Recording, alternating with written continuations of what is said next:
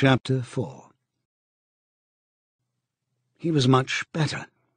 He was growing fatter and stronger every day, if it was proper to speak of days. The white light and the humming sound were the same as ever, but the cell was a little more comfortable than the others he'd been in. There were a pillow and a mattress on the plank bed, and a stool to sit on. They'd given him a bath, and they allowed him to wash himself fairly frequently in a tin basin.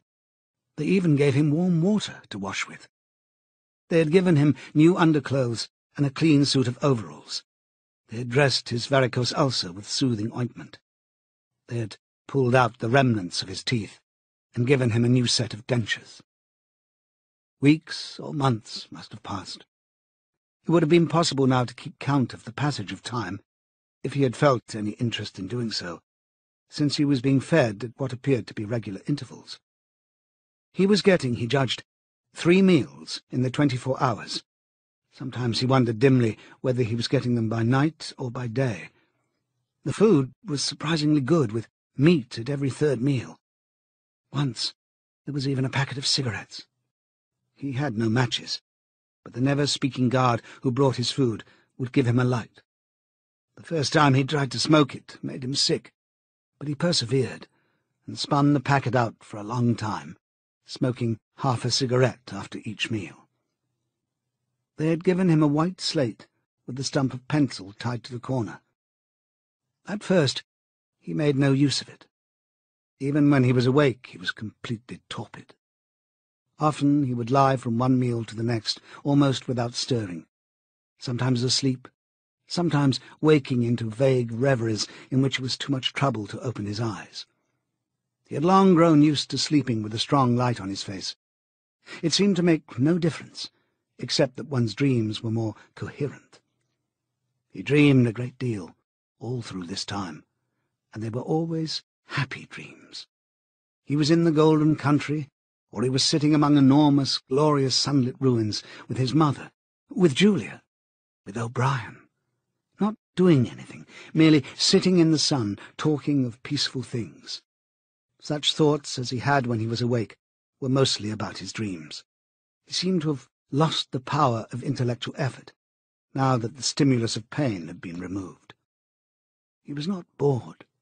He had no desire for conversation or distraction. Merely to be alone, not to be beaten or questioned, to have enough to eat and to be clean all over, was completely satisfying. By degrees, he came to spend less time in sleep, but he still felt no impulse to get off the bed. All he cared for was to lie quiet and feel the strength gathering in his body. He would finger himself here and there, trying to make sure that it was not an illusion, that his muscles were growing rounder and his skin tauter. Finally, it was established beyond a doubt that he was growing fatter. His thighs were now definitely thicker than his knees. After that, reluctantly at first, he began exercising himself regularly. In a little while he could walk three kilometres, measured by pacing the cell, and his bowed shoulders were growing straighter. He attempted more elaborate exercises, and was astonished and humiliated to find what things he could not do. He could not move out of a walk. He could not hold his stool out at arm's length. He could not stand on one leg without falling over. He squatted down on his heels and found that with agonizing pains in thigh and calf, he could just lift himself to a standing position. He lay flat on his belly and tried to lift his weight by his hands. It was hopeless. He could not raise himself a centimetre. But after a few more days, a few more meal times, even that feat was accomplished. A time came when he could do it six times running. He began to grow actually proud of his body, and to cherish an intermittent belief that his face also was growing back to normal. Only when he chanced to put his hand on his bald scalp did he remember the seamed, ruined face that had looked back at him out of the mirror. His mind grew more active. He sat down on the plank bed, his back against the wall and the slate on his knees, and set to work deliberately at the task of re-educating himself. He had capitulated. That was agreed. In reality, as he saw now, he'd been ready to capitulate long before he had taken the decision. From the moment when he was inside the Ministry of Love, and yes, even during those minutes when he and Julia had stood helpless while the iron voice from the telescreen told them what to do, he had grasped the frivolity, the shallowness of his attempt to set himself up against the power of the party. He knew now that for seven years the thought police had watched him like a beetle under a magnifying glass. There was no physical act, no words spoken aloud that they had not noticed, no train of thought that they had not been able to infer. Even the speck of whitish dust on the cover of his diary they had carefully replaced. They had played soundtracks to him, shown him photographs. Some of them were photographs of Julia and himself. Yes, even... He could not fight against the party any longer. Besides, the party was in the right. It must be so. How could the immortal collective brain be mistaken? By what external standard could you check its judgments? Sanity was statistical. It was merely a question of learning to think as they thought. Only... The pencil felt thick and awkward in his fingers. He began to write down the thoughts that came into his head. He wrote first, in large, clumsy capitals, Freedom is slavery. Then, almost without a pause, he wrote beneath it, Two and two make five. But then there came a sort of check. His mind, as though shying away from something, seemed unable to concentrate. He knew that he knew what came next, but for the moment he could not recall it. When he did recall it, it was only by consciously reasoning out what it must be. It did not come of its own accord. He wrote, God is power. He accepted everything. The past was alterable. The past never had been altered. Oceania was at war with Eastasia. Oceania had always been at war with Eastasia. Jones, Aronson, and Rutherford were guilty of the crimes they were charged with. He had never seen the photograph that disproved their guilt. It had never existed. He had invented it. He remembered remembering contrary things, but those were false memories, products of self-deception. How easy it all was. Only surrender, and everything else followed.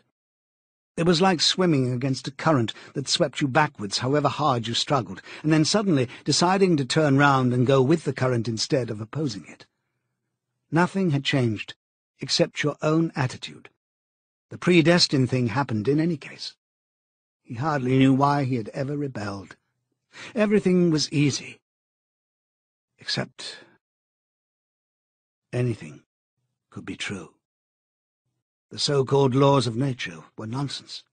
The law of gravity was nonsense. If I wished, O'Brien had said, I could float off this floor like a soap bubble. Winston worked it out.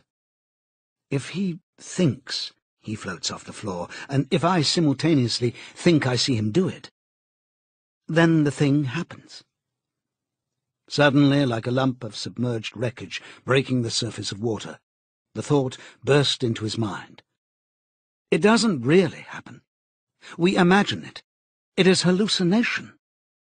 He pushed the thought under instantly. The fallacy was obvious. It presupposed that somewhere or other outside oneself there was a real world where real things happened. But how could there be such a world? What knowledge have we of anything save through our own minds? All happenings are in the mind. Whatever happens in all minds truly happens. He had no difficulty in disposing of the fallacy, and he was in no danger of succumbing to it. He realized, nevertheless, that it ought never to have occurred to him. The mind should develop a blind spot whenever a dangerous thought presented itself. The process should be automatic, instinctive, Crimestop, they called it in Newspeak. He set to work to exercise himself in Crimestop. He presented himself with propositions. The party says the earth is flat. The party says that ice is heavier than water, and trained himself in not seeing or not understanding the arguments that contradicted them.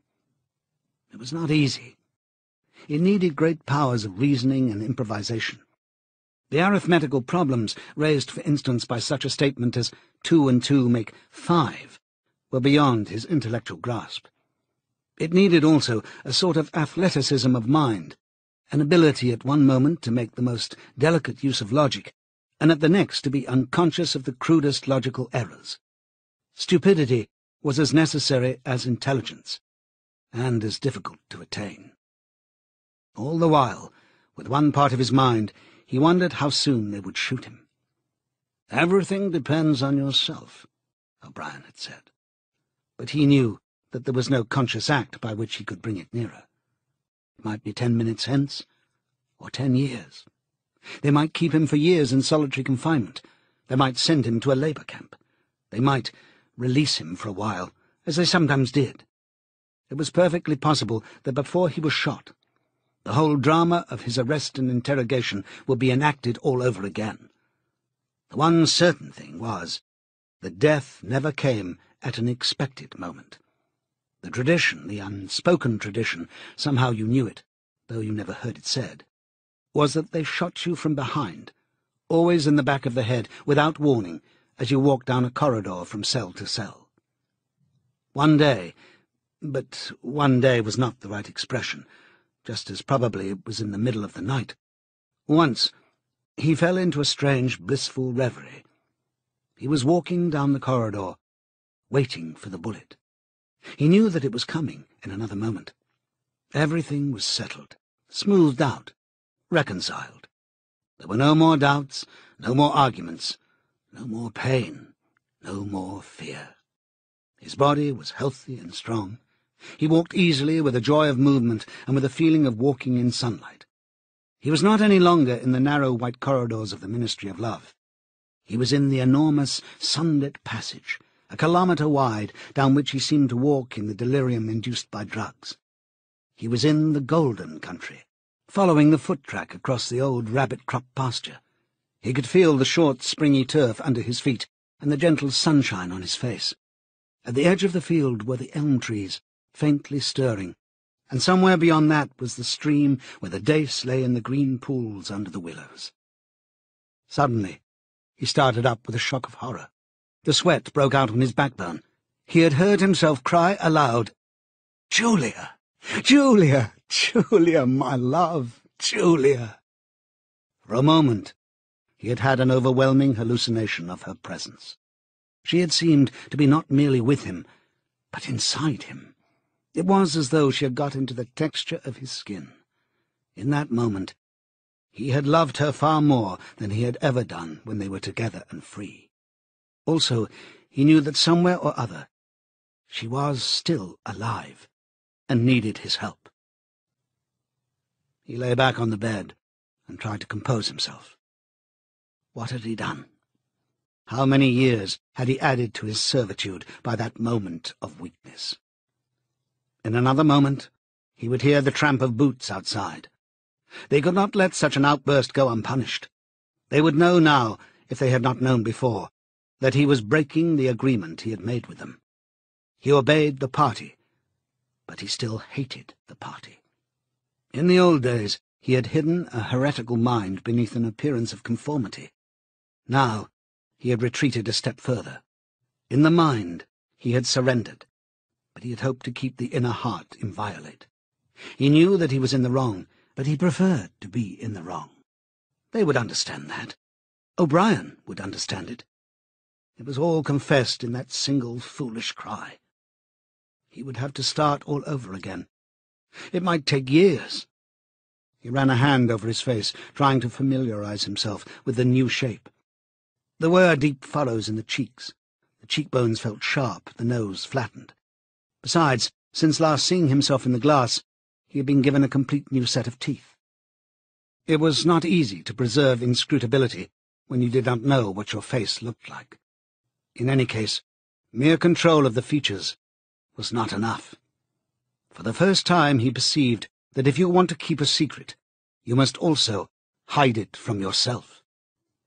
You must know all the while that it is there, but until it is needed, you must never let it emerge into your consciousness in any shape that could be given a name. From now onwards, he must not only think right, he must feel right, dream right, and all the while he must keep his hatred locked up inside him like a ball of matter which was part of himself and yet unconnected with the rest of him, a kind of cyst. One day they would decide to shoot him. You could not tell when it would happen, but a few seconds beforehand it should be possible to guess. It was always from behind, walking down a corridor. Ten seconds would be enough. In that time, the world inside him could turn over, and then suddenly, without a word uttered, without a check in his step, without the changing of a line in his face, suddenly the camouflage would be down and bang would go the batteries of his hatred. Hatred would fill him like an enormous roaring flame, and almost in the same instant bang would go the bullet, too late or too early. They would have blown his brains to pieces before they could reclaim it. The heretical thought would be unpunished, unrepented, out of their reach for ever. They would have blown a hole in their own perfection. To die hating them, that was freedom. He shut his eyes. It was more difficult than accepting an intellectual discipline. It was a question of degrading himself, mutilating himself. He had got to plunge into the filthiest of filth. What was the most horrible, sickening thing of all? He thought of Big Brother, the enormous face. Because of constantly seeing it on posters, he always thought of it as being a metre wide. With its heavy black moustache and the eyes that followed you to and fro, seemed to float into his mind of its own accord. What were his true feelings toward Big Brother? There was a heavy tramp of boots in the passage. The steel door swung open with a clang. O'Brien walked into the cell. Behind him were the waxen-faced officer and the black uniformed guards. "'Get up,' said O'Brien. "'Come here.' Winston stood opposite him. O'Brien took Winston's shoulders between his strong hands and looked at him closely. "'You have had thoughts of deceiving me,' he said. "'That was stupid. Stand up straighter. Look me in the face.' He paused and went on in a gentler tone. You are improving. Intellectually, there's very little wrong with you. It is only emotionally that you've failed to make progress. Tell me, Winston, and remember, no lies. You know that I'm always able to detect a lie. Tell me, what are your true feelings toward Big Brother? I hate him. You hate him. Good. Then the time has come for you to take the last step. You must love Big Brother. It is not enough to obey him. You must love him. He released Winston with a little push toward the guards. Room 101, he said.